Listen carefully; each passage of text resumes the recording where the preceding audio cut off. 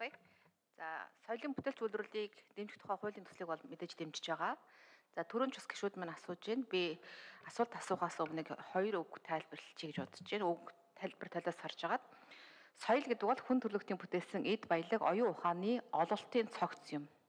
Урлаг үнэн байдлыг уран сайхны аргаар дүрслэн гаргасан бүтээл. За соёлын бүтээлч үйлрүүлийг дэмжих тухай хуулийн дээр мэдээж урлагийн байгууллагууд тэдний төлөөллүүд за бүхэл салбарынхныг би бас дэмжих бодлого байгаа гэж ойлгож байгаа. Тэгэхээр энэ дээр дандаа нөгөө соёлын гэдэг нэр томьёолоор орсон учраас урлагийн байгууллагуудаа, мэрэгжлийн урлагийн байгууллагуудаа хэрхэн яаж дэмжих талаар бас нэг зүйл асууя. Хэрхэн яаж оруулж байгаа вэ гэдэг дээр. За хоёрдугаар соёл юунаас эхлэх вэ гэж намын сайдаа би таныг бас яг сайдаар томьёодод орж ирж байгаа хамгийн анхны асуултыг асууж исэн. Соёл гэдэг бол мэдлэгээс эхэлдэг байхаа хүн байх, бие хүн байх, хүн хүнээ хүнлэхээс эхэлдэг гэж би боддгийг. За тэр ч үүднээсээ яг энэ чиглэлээрээ бусад яамтайгаа юу н соёлын яам маань хэрхэн яаж хамтран ажиллаж байна вэ? Яагаад би ингэж асууж байна гэвэл өнөөдөр Монгол улсад зөөлөн хүчний бодлого гэдэг зүйл дутагдaltaй байна. Дэлхийд даяараа даяаршиж байгаа энэ цаг мөчид бид Монголоо авч үлдэх хамгийн гол зүйл бол их хэл соёл урлаг маань. За гэтэл өнөөдөр дэлхийд Монголыг хэрхэн мэдж байна вэ? Хүү гэдэг хамтлаг гарч ирснээр бас Монголын рок pop урлаг энэ хэмжээнд очлоо гэдэг зүйлийг бид нар бас тийм ээ багтан ярьж байсан.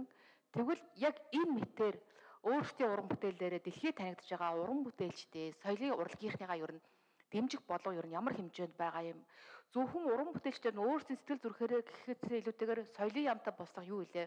Бодлогын хэмжээнд уран бүтээлчдээ дэмжиж гадагшин гаргаж байгаа зүйл юу вэ? Кино урлагийг дэмжих тухай хууль батлагдсан. Энэ боломжоор бид бас Монголын кино урлагийг дэлхийд гарах тэр боломжийг нээж өгсөн гэж харж байгаа.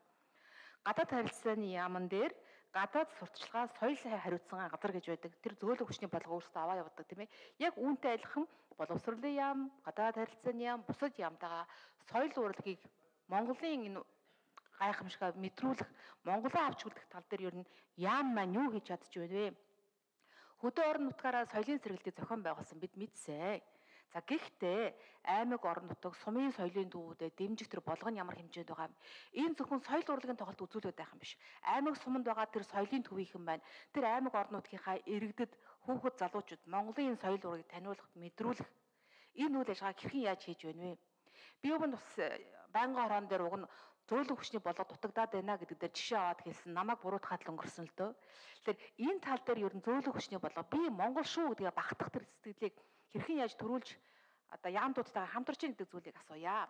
За 3 дугаарт улсын статустай хүүхэд залуучуудын театр сонгон хайрхан дургийн 5 дугаар хороонд босч байгаа.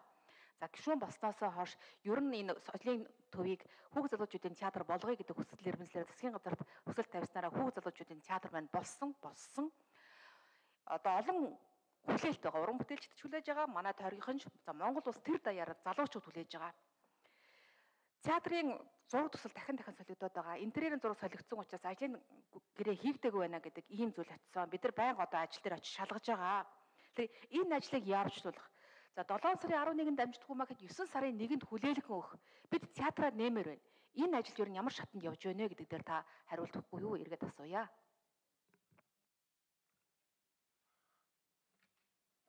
Чухалмаа гişүний асуултанд хариулъя. Ажлын хэсгийн 85 дугаар микрофон соёлын сайд намын хариулъя. За, Чухалмаа гişүний асуултанд хариулъя.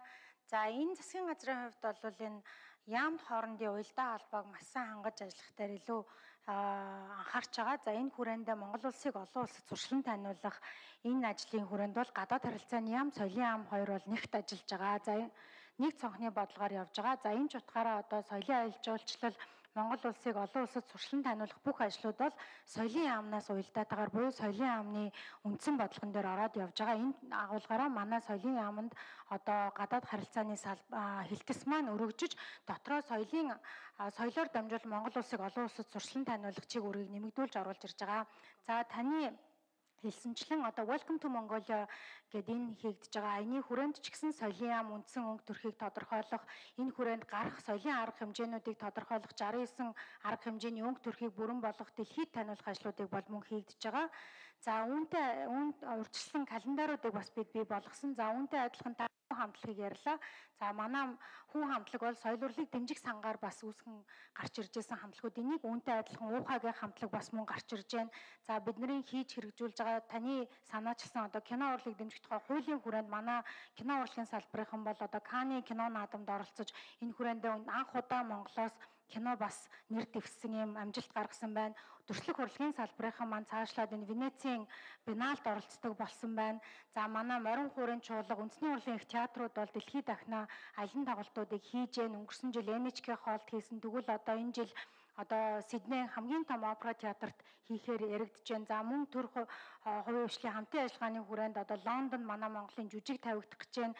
За үүнээс гадна одоо Монголын Чингис хааны өв соёлыг таниулах Монгол улсын дэлхийд оруулсан хувь нэмрийг таниулах үзэсгэлэн маань мөн одоо энэ Францын Нант улсад гарах гэж байна. Гэх мэтчлэн соёл урлаг бол хамгийн түрүүнд тухайн улсыг таниулдаг, тухайн улсыг сурталчилдаг зүйл учраас соёл урлагаар дамжуулан дэлхийд Монгол улсыг сурчлан таниулах ажлууд бол маш өргөн цар хүрээтэй хийгдэж байгаа.